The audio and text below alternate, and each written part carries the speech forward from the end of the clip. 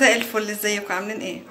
تعالوا النهارده هجيب لكم الطريقة للكريم كراميل بطريقة سهلة وبسيطة. هعمل لكم كيكة للكريم كراميل جميلة جدا وسهلة ومقادير حلوة وبسيطة أحلى من الجاهز. وإن شاء الله تعجبكم وتجربوها. وعايزة بقى إن شاء الله تشرفونا كده ب subscribe للقناة وتعملوا وتفعلوا الجرس عشان يوصلكم كل جديد. وعايزة like و share للفيديو كتير. ويلا بينا عشان أقول لكم. يلا بينا نشوف مقاديرنا. معانا سبع بيضات ومعانا كيلو لبن. ومعانا كوبايتين سكر وورقتين فانيليا. معانا هنا بشرة ليمونة كبيرة وذرة ملح. أول حاجة هناخد كوباية السكر دي نحطها في طاسة النار.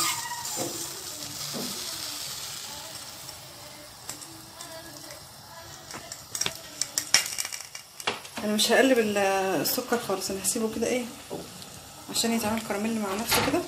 ومش هقلبه بإيدي أنا هوطي النار.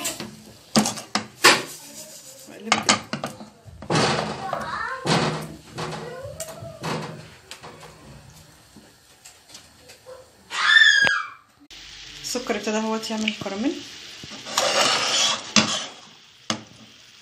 أنا مش هحط فيه المعلقة خالص أنا هقلب فيه بالراحة كده لحد إن هو إيه يكرمل مع نفسه كده. من غير معلقة ومن غير حاجة. ممكن تحطوا معلقتين مية صغيرين عليهم على السكر.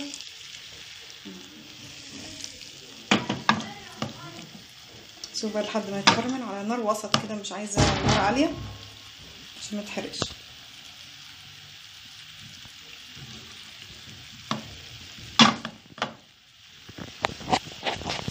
الحله بقى التانية هناخد اللبن نحطه على النار يتدفى شوية أنا مش عاوزاه يغلي. أنا عاوزة اللبن يدفى بس كده دفيه مش أكتر يعني مش عايزاه يغلي. هدفي اللبن بقى وأعمل الكراميل ونكمل الطريقة الكراميل خلاص معايا اتعمل اهوت وحلو خالص. هنزل بيه بقى على إيه؟ على الصينية كده. كده. والصينية دي محطوطة في إيه؟ في في صينية أكبر منها فيها مية. المية دي هتبقى بتغلي طبعا إحنا عايزينها تغلي. ونيجي بقى نعمل مقادير الكريم. إحنا كده عملنا الكراميل نبتدي بقى مقادير الكريم. دلوقتي هبدأ بقى اللبن بقى دافي معانا هنزل بالبيض على اللبن ومعايا المضرب. هضرب بسرعة.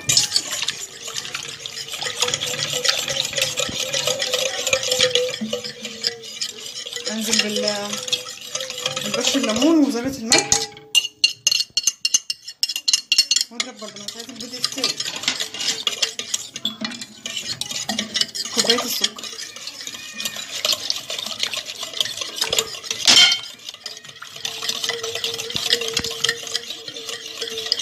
أنا هضربهم برضه كده في الخلاط علشان ما يبقاش في أي تكتلات مطرح البيض عايزة بقى أحط الفانيليا.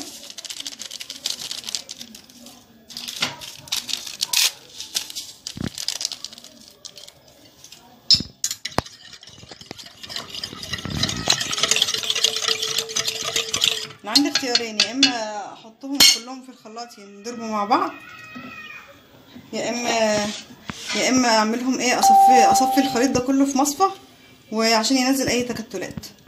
فدلوقتي هصفيه في المصفى وأرجع بقى أكمل معاكم إيه ندخله الفرن. نحط لا نحطه في الصينية وندخله الفرن. صفيته دلوقتي الخليط كله بمصفى.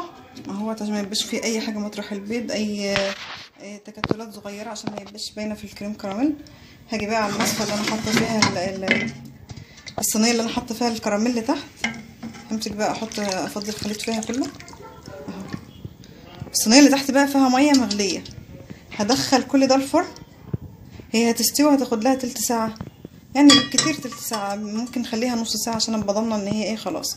واديها بقى الوش الجراتان الحلو ده من على الوش في الفرن واطلعها بقى واقلبها وأوريها لكم.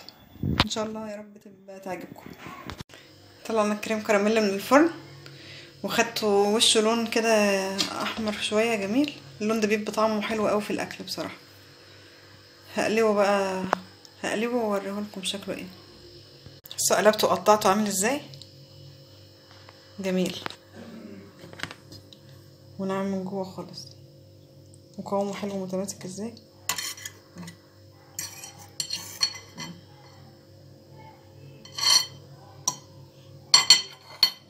جربوه إن شاء الله طعمه جميل. جربوه إن شاء الله ويعجبكم. أشوفكم بخير.